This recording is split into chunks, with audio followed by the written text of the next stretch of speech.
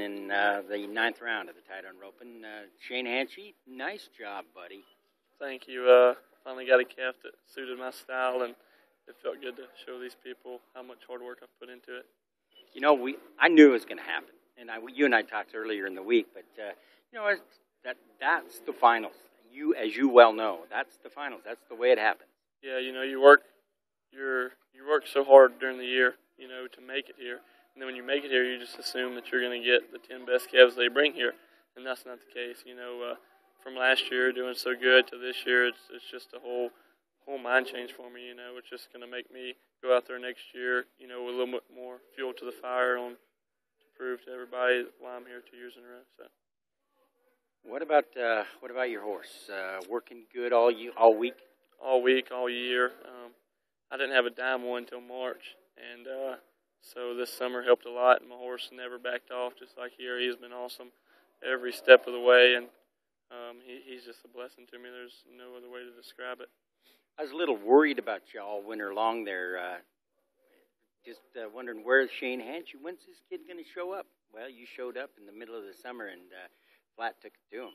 Yeah, you know, I had a good fourth, five thousand, and uh, that's what needed to happen if I wanted to come back here. You know, not having but five thousand going into Reno, so I knew that uh, I had to take it to him over the fourth and finish the year out strong at Omaha and Puyallup, and I did that. So I was just glad to make it back.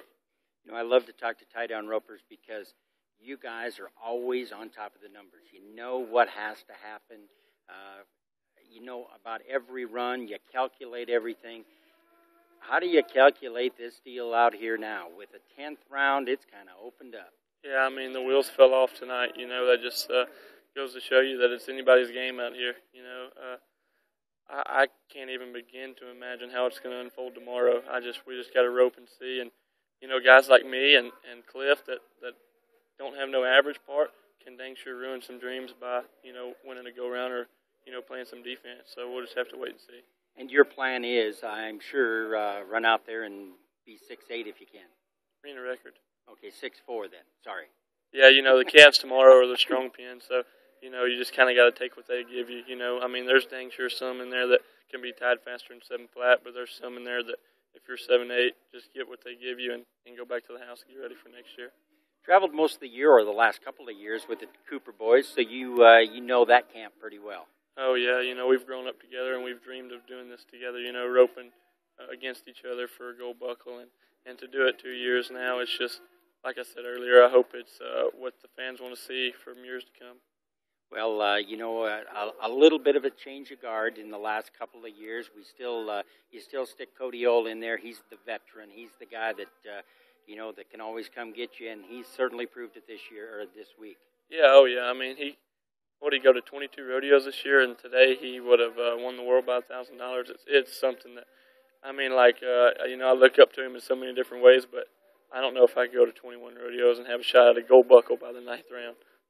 Well, you know that might happen for you, but uh, I agree with you. That's uh, that's a little different story for sure. Oh yeah, you know he's he's got got all the crafts down to a T. You know he uh, he scores better than anybody, ropes the necks better than anybody, and dang sure his groundwork's just as good as anybody. So, you know he's pretty discouraged after tonight, but uh, you know he's he knows that he's got five gold buckles for a reason.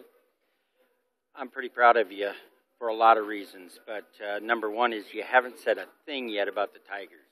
Oh no, well, I think everybody knows where I stand on that. I mean, 13 and 0, and we're headed to a national title game, which I'll be at. So, if y'all need anything on January 9th, I'll be in New Orleans.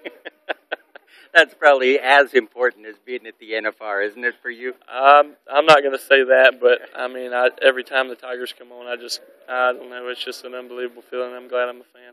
I keep up with the Tigers only through Shane Hanchey, and uh, it's been pretty cool. Yeah, we're going to even be better next year if that's scary or not. I don't know. Well, it could be. We'll we'll let we'll let that play out yeah, and see yeah. where it is. Shane, congratulations though on Thanks, a on a on a great one, and uh, hopefully we can uh, get a chance to chat tomorrow night. How about that? Yeah, let's do it. Okay, let's uh, set that arena record. You bet. Thank All you. Right. Thank you.